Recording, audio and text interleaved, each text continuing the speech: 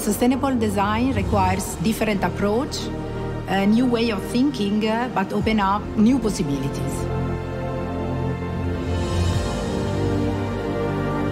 The main driver in our design process is that we put the human being, the customer, into the center of all our processes.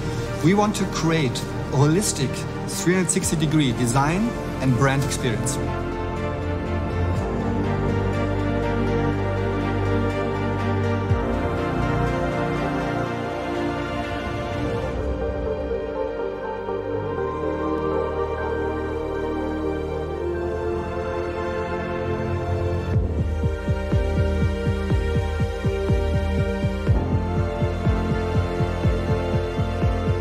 For us, people are the most important thing. We don't only do beautiful things, but we think uh, how a human being can enjoy, can use our product, can feel themselves using our products.